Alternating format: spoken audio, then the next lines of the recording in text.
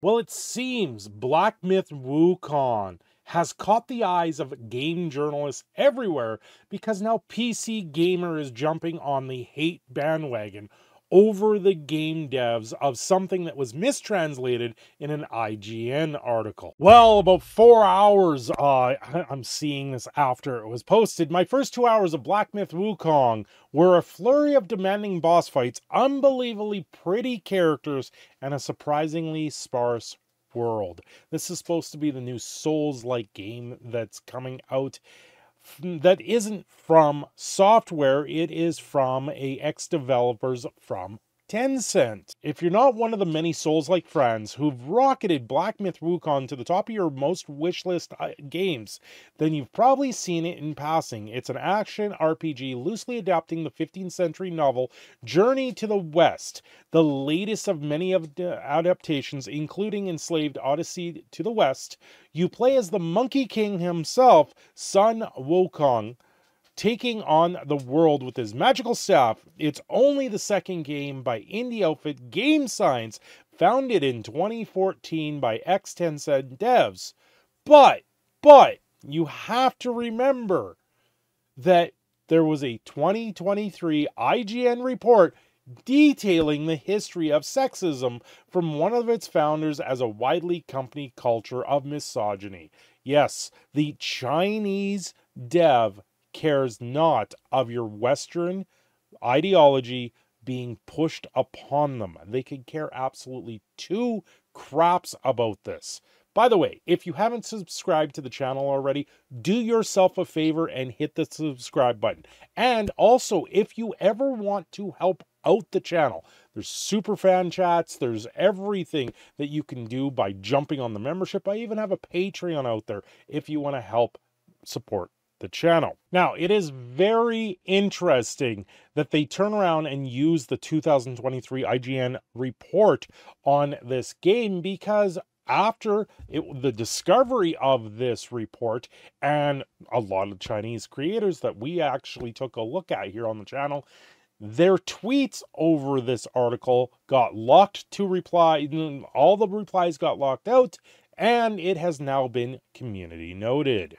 And here's the community note on their Twitter post. The sexist quotes shown in the article are poorly translated. Accurate translations show the statements being vulgar, but definitely not sexist. IGN reporting on these fallacies, unverified claims as though it was fact, is yellow journalism, which CNs were made to combat. Community notes. That's exactly what the point of community notes are they're not showing the true situation of what this game was or who game science actually is. It's westernized journalists in this circumstance trying to bring sexism into the workplace of a Chinese market that has nothing to do with what goes on in the West. Now, IGN putting up a new article, very much the same as what PC Gamer is, almost almost tying them perfectly. But if you scroll down in this article, our last report or about our report from last year by the person that wrote it, one of the two people. Last year, we published a comprehensive report on IGN detailing a number of sexist and inappropriate remarks made by multiple developers of Black Myth Wukong including those leadership roles at Game Science.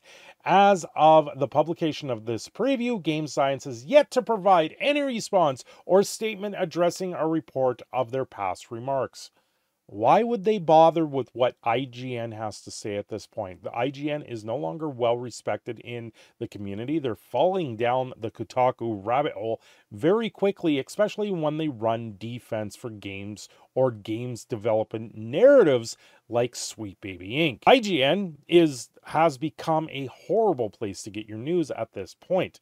Like Mike Michael, I have the opportunity of seeing Black Myth Wukong at Summer Game Fest. Though my appointment was admittedly a bit a little strange, I was told as part of my invitation that Game Science would have a statement related to the reports of sexism. I arrived at the appointment and saw the game as planned, but when I asked for a promised statement, They're demanding a statement. I was told by a PR representative Game Science is focused on the demo during play days and will only answer questions related to gameplay, which is a good stance to take as a game developer. They want to make claims like this, which they know are false at that point, why are they even going to bother entertaining a statement at this point?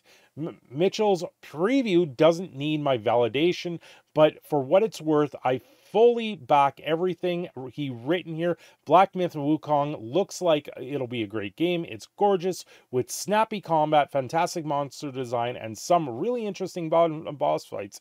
It's also true that several of the people who are making it have made disparaging remarks to women, poorly, poorly translated, uh, because IGN didn't want to pay for the translations and doesn't seem to be interested either in retracting their past statements or in supporting the numerous women who are being harassed in online conversations. Who, who's uh, women are being harassed about this game? I call absolute bullshit on that. Show me the harassment. Don't just make another claim in an article, in a statement here, IGN, without showing the proof of it. There's none here. One last note I didn't see any women or fem coded characters in the demo. Oh no, you didn't see fem coded characters in a demo? Oh my god, what. Uh, I'm sorry, they're making a game about a Chinese legendary myth. The last thing on their minds is to give you representation of something that isn't owed to anybody.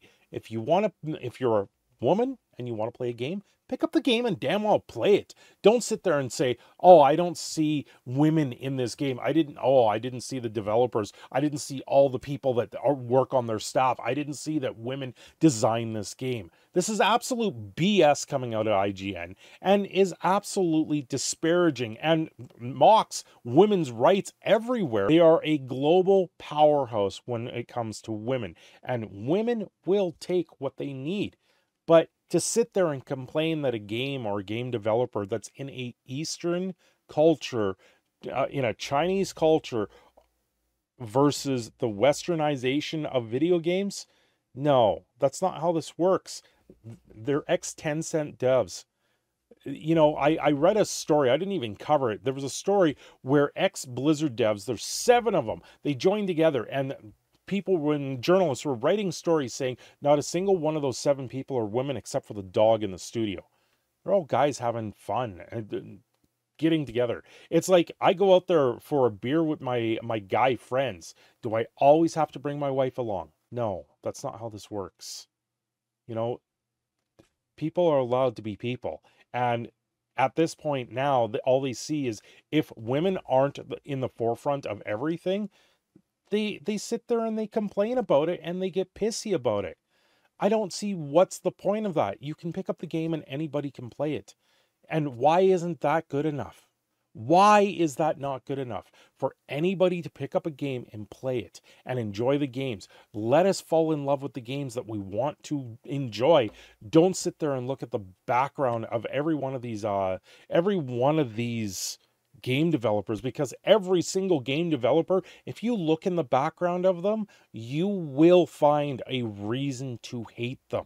And that is more what this is. They're finding a reason to bring them down and to hate them and to disparage. And then obviously, this game's going to come out, and the next thing they're going to say is if you're playing this game, you're a sexist, misogynist bigot and you shouldn't play this game. This game is getting so much hate. It reminds me of Hogwarts Legacy last year. I wouldn't be surprised if we see some uh, some sort of statement at this point from J.K. Rowling saying, "Oh, hey, yeah, I helped with this" or something, because then people will just lose their absolute minds because that's where we are nowadays with this stuff. It's absolutely disgusting.